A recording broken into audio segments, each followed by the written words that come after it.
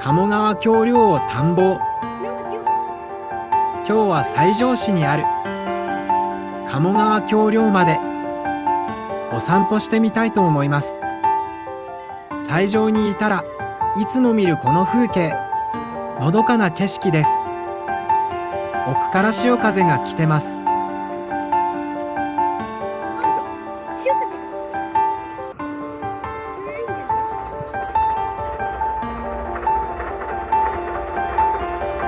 橋を渡る電車には夢を感じます。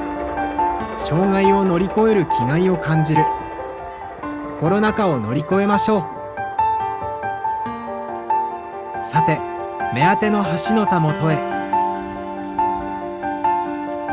やってきました鴨町。これが橋のたもとですね。調べてみると大正時代にできた橋のようで。100年以上の歴史のある橋のようです。この橋が予算線を支えていると思うと感慨深いものです。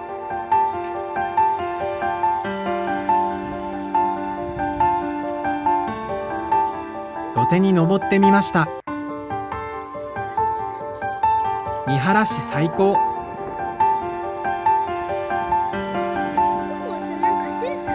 近くまで行けそうですね。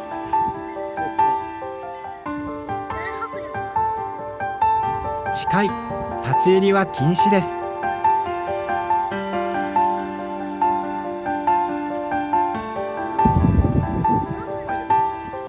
遠くから普通列車を撮影しました。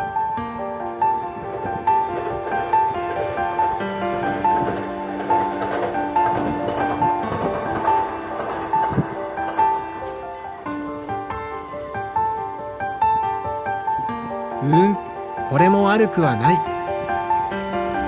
ワンマンの普通列車もどうぞ。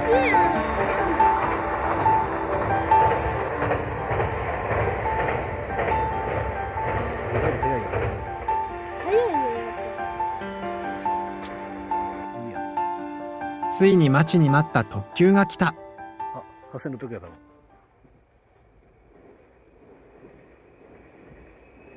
結構ガタゴト言うの外から行く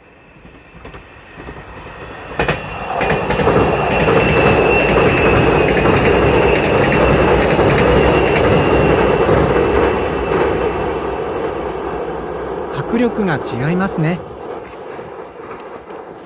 下からも撮ってみました